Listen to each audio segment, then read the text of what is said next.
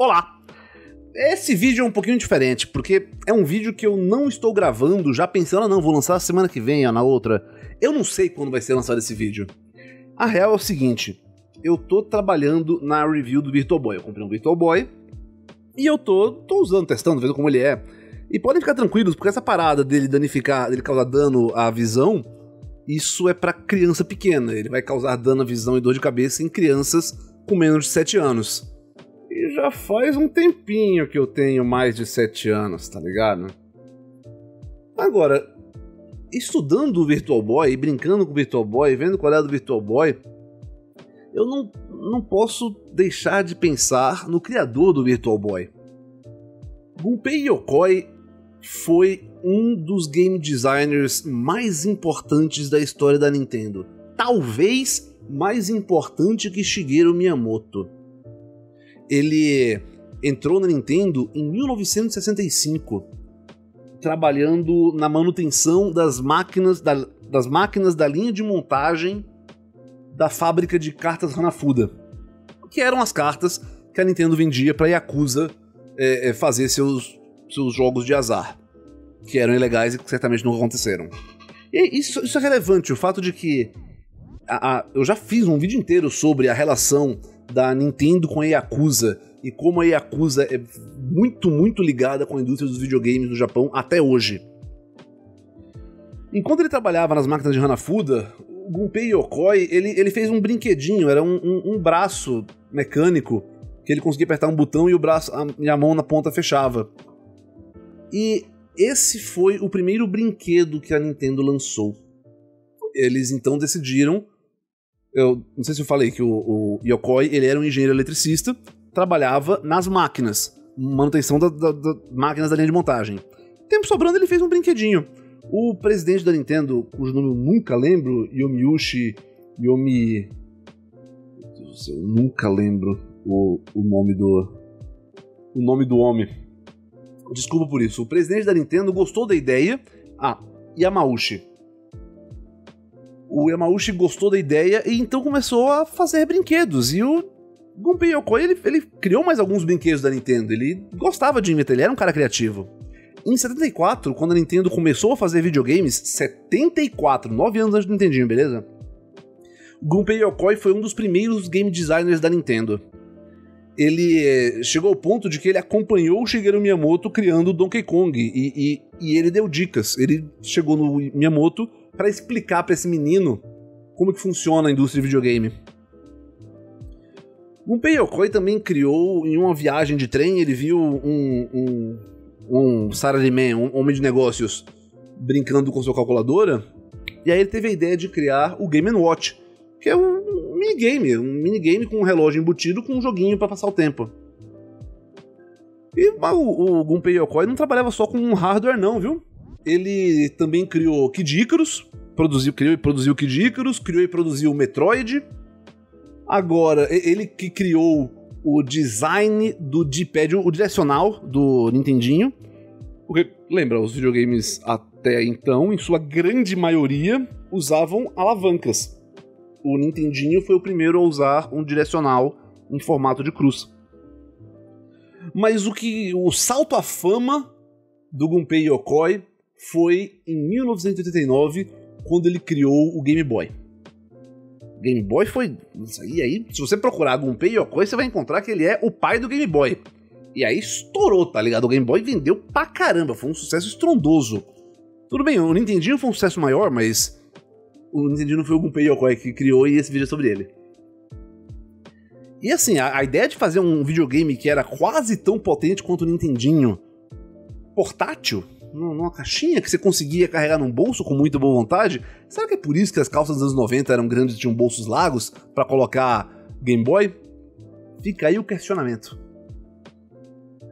Só que depois do Game Boy veio a criação do Gunpei Yokoi, que tem uma história macabra por trás disso.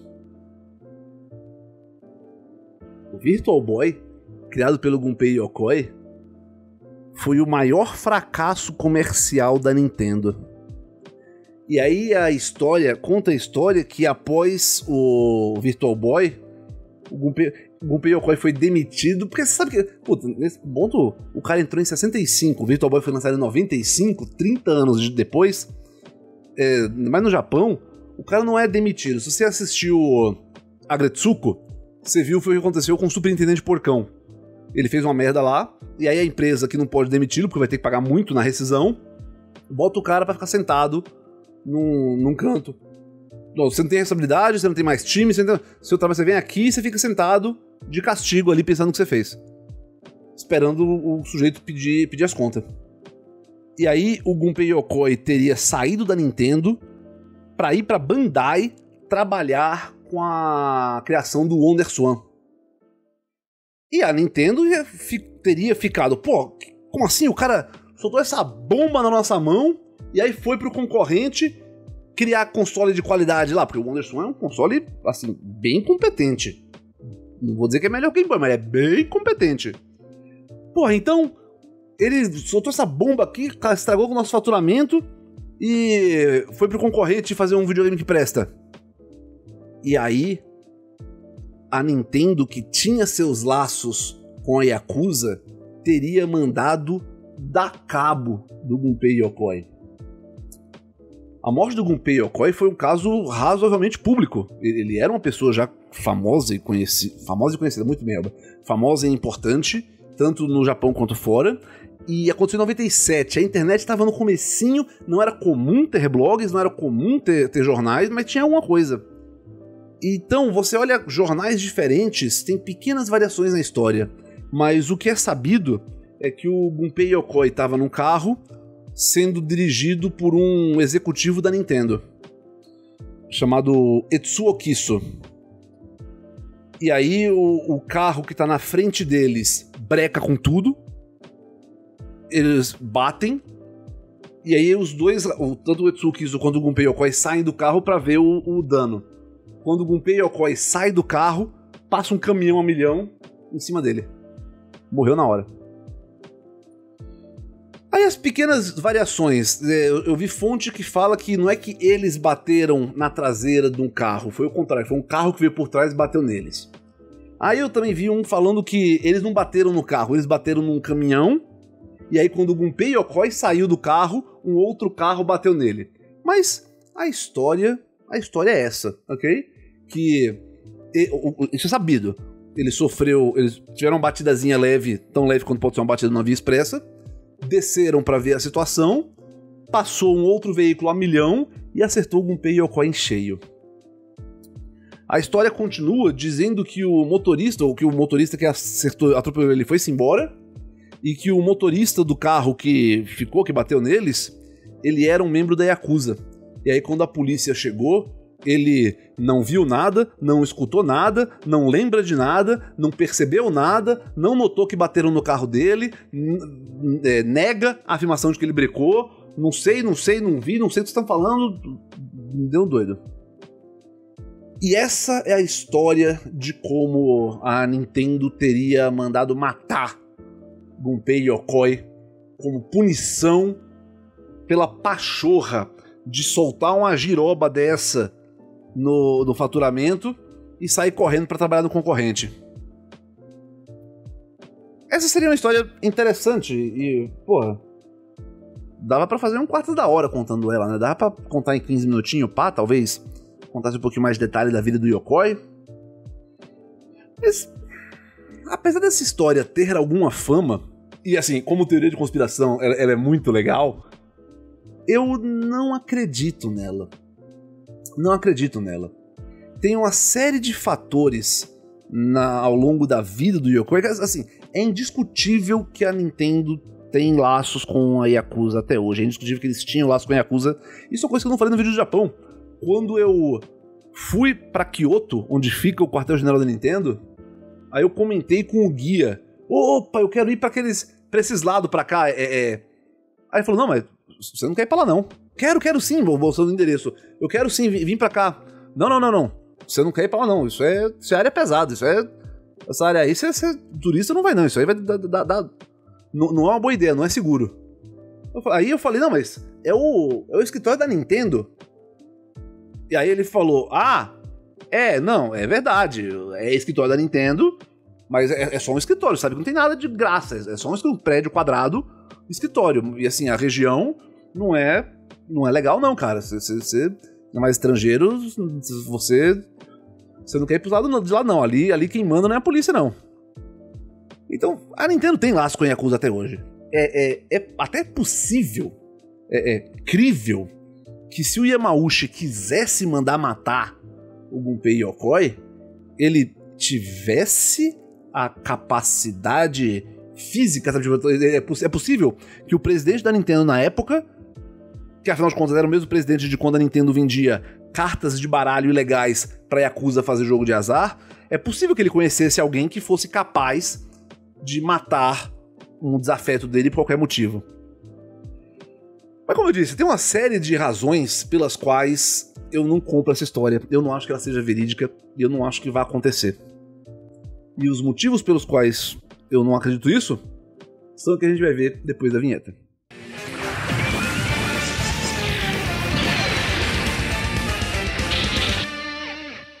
Bom, em primeiro lugar, tem um, um problema óbvio aí que quem for mais ligeiro em data de videogame pode ter percebido isso quando estava contando a história. Os anos não batem. Virtual Boy foi lançado em 95. O Wonder Swan foi lançado em 99. E a morte do Gunpei Yokoi foi em 97. Entre o Virtual Boy e a morte de Gunpei Yokoi, ele ainda chegou a lançar o Game Boy Pocket. Eu até já vi versão dessa teoria da conspiração que diz que o design do Game Boy Pocket na verdade começou antes do Virtual Boy, mas ele se estendeu mais e teve uma discussão com o Takehiro Izushi, que era o, o, o responsável pelo hardware do Game Boy Pocket, porque o Takehiro queria, queria, queria, queria tirar o cabo Link do Game Boy Pocket. E o Gunpei Yokoi fala, você tá completamente maluco, o cabo Link é, é, é no nosso diferencial competitivo.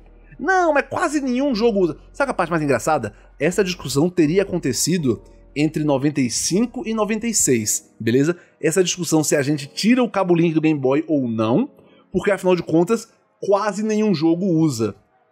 Em 1995, foi lançado um joguinho que usava o cabo Link e que, tipo, foi um sucesso razoável.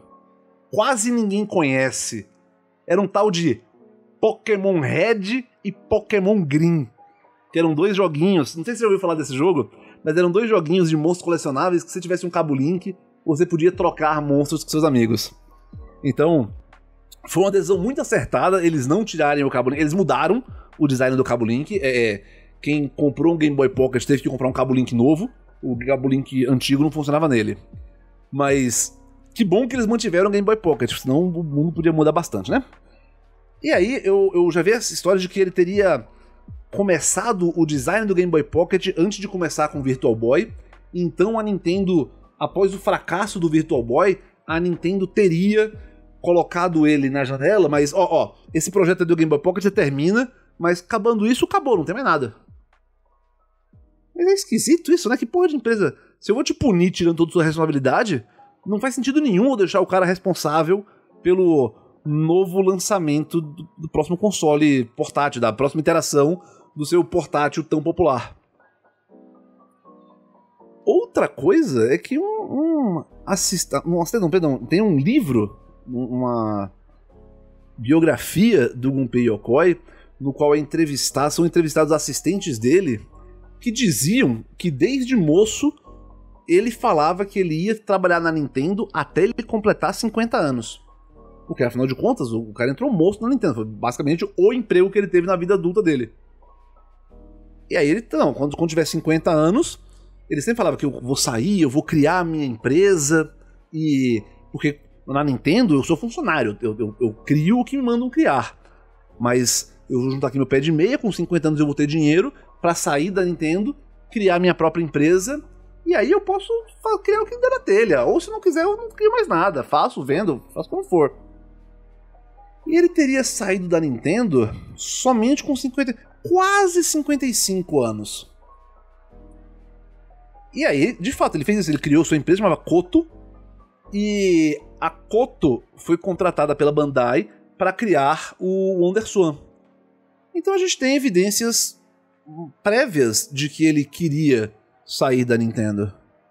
Ou pelo menos já tudo bem, atrasou uns anos para sair, mas eu suponho que a ideia de você largar um emprego que você tem faz 30 anos, 31 anos, pra tentar a sorte com a empresa própria, normal o cara dá uma. Não, não, peraí, pô, vou ver, deixa tudo certinho, vamos garantir tudo certo. Outra parada, o fracasso retumbante do Virtual Boy. Na verdade, essa é o quê? É, é indiscutível que o Virtual Boy foi um fracasso, ok? Isso aqui foi o maior prejuízo em videogame que a Nintendo teve, o maior fracasso em videogame que a Nintendo teve, com ênfase no em videogame. O Yamauchi, Hiroshi Yamauchi, ele, apesar de ser o presidente da Nintendo, ele não era o homem de negócios mais sagaz da história, tá ligado? Ele, ele tomou umas decisões bem ruins ao longo dos anos. Ele perdeu dinheiro quando a empresa fazia carta de Hanafuda. Aí, aí o Gunpei Yokoi inventou o brinquedo. Opa, pega esse brinquedo que você inventou e vende. Legal, ganhou um monte de dinheiro. Aí o Gunpei, aí falou, Gunpei, inventa, faz agora um brinquedo que é assim, assim, assado. Mas, tudo bem, você é o chefe, vou fazer. Mas, que ideia merda. Aí ele fez esse brinquedo, foi uma bosta. Não vendeu, empacou. Aí o Gunpei Yokoi foi lá e inventou o Game Watch. Vendeu pra caramba. Aí o Yamauchi tinha uma outra ideia maluca e deu merda. E a real é que o, a Nintendo, ao longo de sua história, antes dela, até 74, quando ela começou a fazer videogame, ela não era uma empresa de sucesso. Ela era uma empresa, ela mantinha as portas abertas, mas ela não era grande coisa. E ao longo dos anos, muitos dos sucessos da Nintendo foram explicitamente causados pelo Gunpei Yokoi. Em 95, a Nintendo estava longe do lançamento do Super Nintendo, do Super Nintendo em 91, mas ainda não estava pronta para lançar o 64, que ele ainda ia sair dois anos depois, né? Então o Hiroshi Yamauchi teria chegado no Gunpei Yokoi e falado: Meu irmão, a gente precisa lançar alguma coisa. Bola um negócio aí. A, a gente precisa lançar uma coisa rápido, correndo para já. E o Gunpei Yokoi, porra, mas eu tava trabalhando em outra coisa, tava, minha cabeça tava no, nossa, ah, um lançamento, sei lá, e se a gente fizesse uma parada assim, assado, Virtual Boy, a gente bota um capacete de realidade virtual, bota umas correias assim, pô, legal, é isso que a gente vai lançar. Aí veio a parada de que, é, bom, isso eu vou falar mais na, na review do, do Virtual Boy, que talvez saia antes que esse vídeo saia, não sei quando isso vai acontecer. Mas no último momento, a ideia de fazer o Virtual Boy um capacete, de colocar fitas, presilha pra prender na cabeça, foi cancelada por uma questão de segurança. A Nintendo, o Yamauchi ficou preocupado que maluco tentasse jogar Virtual Boy enquanto, sei lá, andava pela rua, enquanto descia escada, enquanto pegava metrô. Afinal de contas, o Game Boy foi um sucesso estrondoso. As pessoas jogavam Game Boy andando na rua, pegando metrô e, e subindo e descendo escada. Se fizesse isso com o Virtual Boy, seria desastroso. E essa foi uma das coisas que os caras mudaram no Virtual Boy que deu uma estragada nele. Ele não, não prende na cabeça. Ele tem um tripé pra ser. Enfim. O, o Gunpei Yokoi, quando ele apresentou o Virtual Boy para ser vendido, foi porque mandaram ele arrumar alguma coisa para lançar. Ele não achava que fosse a melhor ideia do mundo. Ele não achava que estava bom o suficiente para ser lançado. Mas o Hiroshi Yamauchi falou: não, temos que lançar, temos, a gente precisa de um lançamento, os investidores estão putos, faz muito tempo que a gente não lança nada. Vamos lançar, vamos lançar, vamos lançar. E aí lançou, e aí foi uma bucha. E aí o Hiroshi Yamauchi, desesperado, tipo, caralho, mano, os investidores vão comer meu fígado.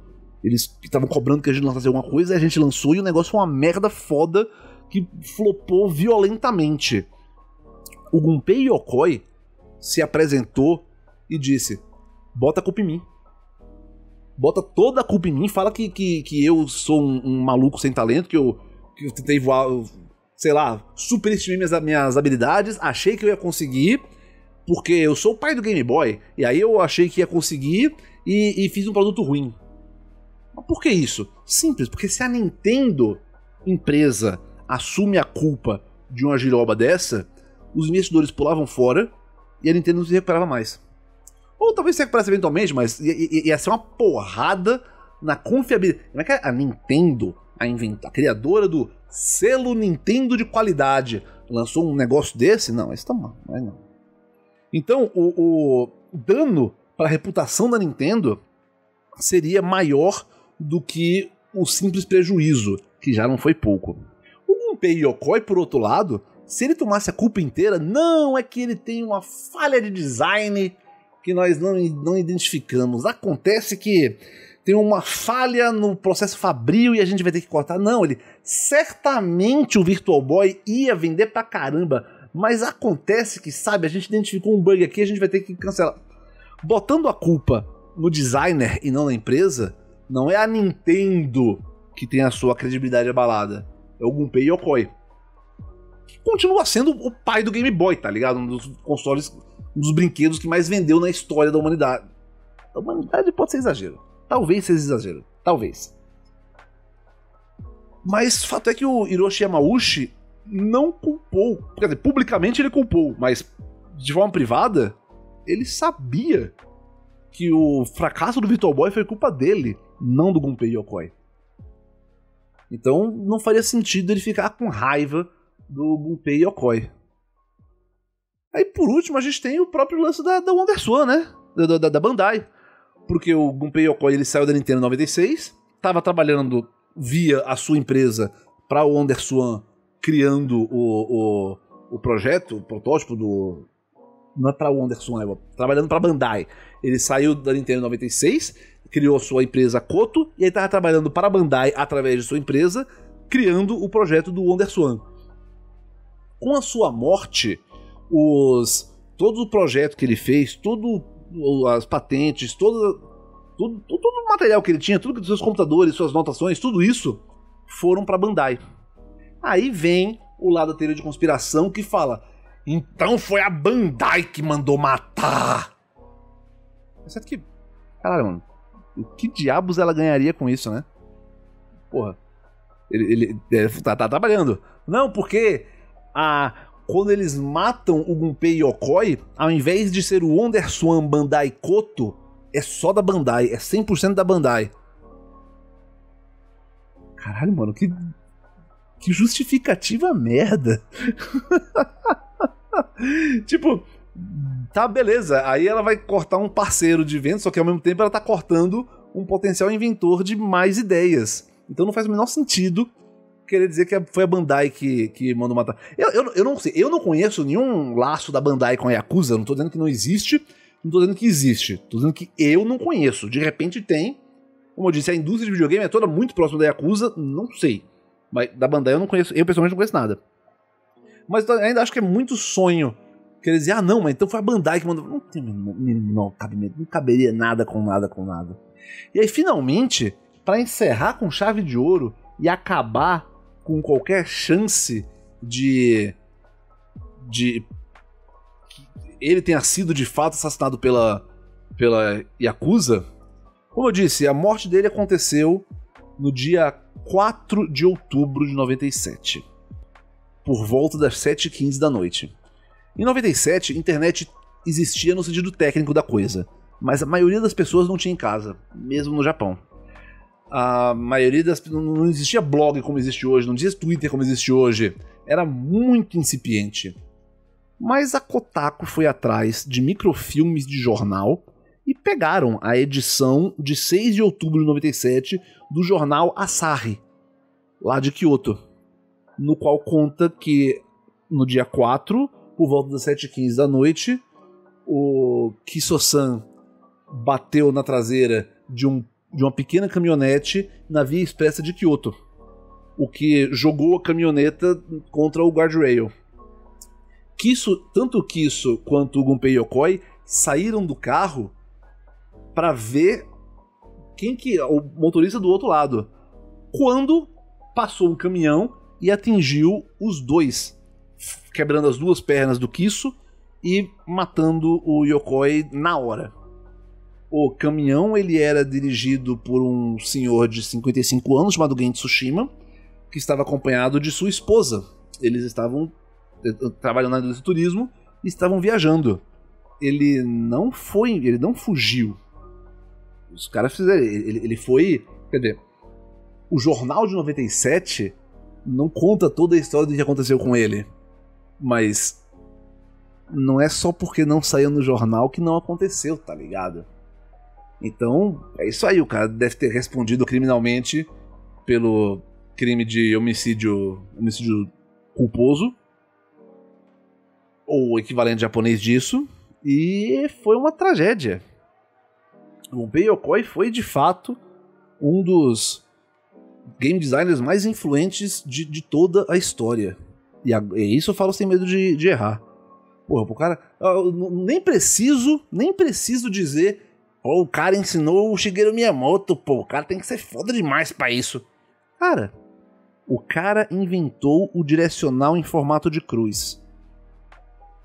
Quem jogou Master System lembra daquela aberração que era direcional quadrado. É que eu acho que o do Master System veio depois do, do Nintendinho, não tô olhando agora, mas. O direcional em cruz foi, foi um avanço para game design gigantesco. O cara inventou. O, o, o cara inventou, inventou de brinquedo Tecnotreco, cara. O Gunpei Yokoi, ele criou. Você já ouviu a, a, galera falar que, ah, não, mas a Nintendo é tecnologicamente atrasada? É, isso é culpa do Gunpei Yokoi. Porque ele inventou o conceito que ele chamava de pensamento lateral com tecnologia madura. A Nintendo, historicamente, ela não investe em altíssima tecnologia.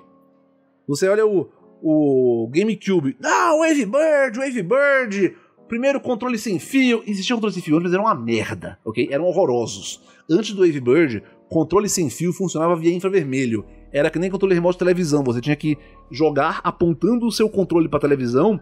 E se você fizesse assim, ou assim, ou qualquer coisa que você virasse pro outro lado, ele parava de funcionar. O Wavebird foi o primeiro controle sem fio que funcionava de verdade, porque ele usava ondas de rádio. Ondas de rádio a 2.4 GHz não era invenção nova. Os telefones fixos sem fio já usavam isso ó, há uns 30 anos, 20 anos, quando inventaram o Wavebird. Pega outro exemplo, o Wii. Nintendo Wii, no, no, tanto o, o, GameCube quanto o Wii não foram invenções do Gunpei Yokoi, mas são exemplos dessa filosofia de design que ele criou, que é pensamento lateral com tecnologia madura. O Wii não inventou nada tecnologicamente, o design era criativo, mas giroscópios já existiam, câmera infravermelha já existia. Tecnologicamente falando, ele não inventou nada, ele só teve a ideia de juntar os componentes que já existiam num num formato interessante. E essa era a parada. A ideia do pensamento lateral com tecnologia madura é, ao invés de gastar rios de dinheiro reinventando a roda, inventando uma nova tecnologia melhor, mais potente, mais foda. Não, não, não. Pega a tecnologia que já existe, que já é conhecida, que é barata, que a gente consegue fazer em massa, baratinho, e vamos pensar outra forma de usar. Uma forma diferente de como ela é usada até hoje. Daí que veio a ideia de ver um cara brincando com a calculadora. O. Putz, tecnologia de botão, suave. Tela de LCD, suave. Oi, se a gente pegasse isso e criasse um tipo de minigame, que aí o cara pode ir jogando no, no trem tá jogando de boa. Pá, Game Watch. O próprio Game Boy. Não, a gente, com o avanço da tecnologia, a gente consegue diminuir o tamanho do chip do Nintendo. Eu, eu honestamente não sei se o chip do Game Boy é baseado no chip do Nintendinho, mas com quase 10 anos de diferença entre os dois, é concebível que a empresa que fabricava tenha se tocado, tipo, não, a gente pode fazer algo parecido e, e diminuir e tal. E a gente usa tela de matriz de pontos, que é baratinha também, a tela de. A tecnologia de tela do Game Boy original era basicamente a mesma tecnologia de cartão. É, máquina de. Não, naquela época, porque naquela época não era. A maquininha de cartão não tinha tela mas era o mesmo tipo de tela que o ATM, que é a, a caixa 24 horas. Então a gente usa essa tela que é baratinha e consome quase nada de energia elétrica, e a gente coloca esse chip aqui, que a gente também já fabrica ele faz 10 anos, e pá, temos aqui, ó, videogame portátil, brilhante. O Gunpei Yokoi, ele, ele era um gênio, ele foi atingido, foi, foi, foi morto num acidente trágico na flor da idade. O cara morreu com 56 anos. Putz, imagina isso, cara. O cara passou. O cara ficou dos 20 aos 55 anos trabalhando na mesma empresa. Aí ele sai da empresa e morre menos de um ano depois.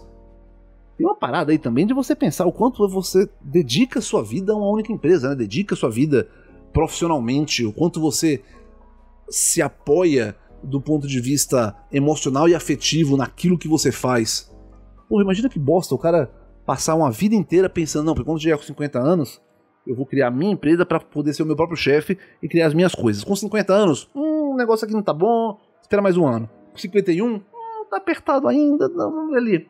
Com 54, 55, faltou, mês que vem é aniversário de 55. Não, tô bem, galera, falou, falou. Beijo, beijo, tchau, tchau, tchau. Agora eu vou ser o meu próprio chefe, vou curtir a minha vida, vou empreender, tenho dinheiro que eu não preciso mais trabalhar. E, ó, tô suave aqui Aí ele é atropelado e morre. Quase tragicômico. Então eu espero que tenham gostado dessa história. Se vocês gostaram, deixe seu joinha. Se não gostou, deixe seu desjoinha. Dúvidas, opiniões, comentários? Você ainda acha que existe alguma possibilidade do Gunpei Yokoi ter sido assassinado pela Nintendo? É, aí tem umas coisinhas, tipo, era era prática da Yakuza. Esse, é, é, existia um golpe de verdade da Yakuza de forçar o cara a parar o carro e atropelar ele quando ele descer do carro. Dar uma batidinha, ou botar um negócio pra furar o pneu. Porque carros são bons ferramentas. O carro é uma peça de, sei lá, 15 toneladas correndo a 60 por hora. É, é, é eficiente em matar. E também tinha uma, uma, galera que falava que. Ah, muito suspeito que ele estava no carro com um outro funcionário da Nintendo. Que suspeito, porra! O cara tava 35 anos trabalhando na empresa. Você acha que ele conhecia alguém que não trabalhasse na Nintendo, velho? Então, não, eu, eu, pra, pra, pra, mim isso tá completamente, completamente desmentido. Pra mim é absolutamente impossível que isso tenha sido um assassinato. E é mais impossível ainda que tenha sido mandado pela, sido mandado pela Nintendo. Mas se você discorda, bota nos comentários aqui embaixo, eu adoraria ler. E se você gosta do Fazendo Nerdice, gosta do que eu faço, gostaria de ajudar, tem um link para apoio na descrição, através do qual você financia tudo que eu faço aqui. Pessoal, espero que todos tenham se divertido e até a próxima. Tchau, tchau! Lendo os comentários do vídeo sobre minha review do Rio Grande do Sul, e eu posso ou não estar de ressaca do ano novo. O Gabriel Gruber Vaz agradeceu a visita à Casa Mint e ficou muito feliz com a avaliação que eu fiz da loja. E Gabriel, como eu disse, cara, é, é sempre bom que tenha mais loja, mais gente disposta a se meter nessa no mercado de Magic. Então, cara, boa sorte. E eu achei a loja mó legal. Eu espero voltar a Porto Alegre e vê-la novamente. O Matheus Moraes disse: Como um cidadão de Novo Hamburgo, o Elba não saber o nome da cidade chamada de Friburgo foi uma das partes mais engraçadas do vídeo. O pior é que eu acho que Friburgo é no Rio de Janeiro. Eu peço desculpas pela, pela confusão. e o Guilherme Amaral tá há 50 dias tentando adivinhar meu nome, agora o palpite dele foi Felício. Eu me pergunto se um dia esse cara acertar o nome, se eu devo é, responder ou não. Uh, eu acho legal que ele comente todo o vídeo. O que comenta termina sendo irrelevante, é legal que tenha comentário todo o vídeo. E eu acho que a brincadeira é saudável, mas eu não sei se eu respondo ou não. Bom, pessoal, esse é o tempo que temos por hoje. Até a próxima.